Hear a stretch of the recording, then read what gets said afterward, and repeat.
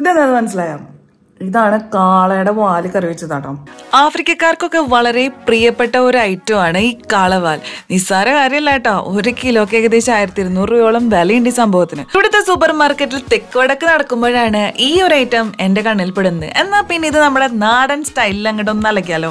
പക്ഷെ കാളവാൽ നമ്മൾ കറി വെച്ചാലും അതിന് കോമ്പിനേഷൻ ആയിട്ട് നമ്മൾ എന്ത് കൂട്ടും എന്നാലോചിച്ചപ്പോഴാണ് നൈല ഉഷ പാൽക്കപ്പ് കഴിക്കുന്ന ഒരു റീൽ ഞാൻ കണ്ടത്.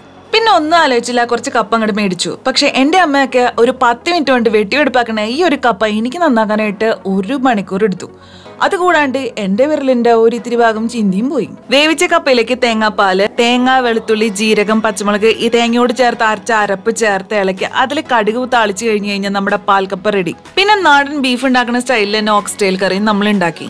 പക്ഷെ ഒരു പത്ത് പന്ത്രണ്ട് വിസിലെടുത്തിട്ടാണ് ഈ സംഭവം ഒന്ന് വെന്ത് കിട്ടിയത്. പക്ഷെ ഇത് പാൽക്കപ്പയുടെ കൂടെ കഴിക്കുമ്പോൾ ഒരു ടേസ്റ്റ് ഉണ്ടല്ലോ എന്റെ സാറ. ഞാൻ ഇത്രയും പ്രതീക്ഷിച്ചില്ല.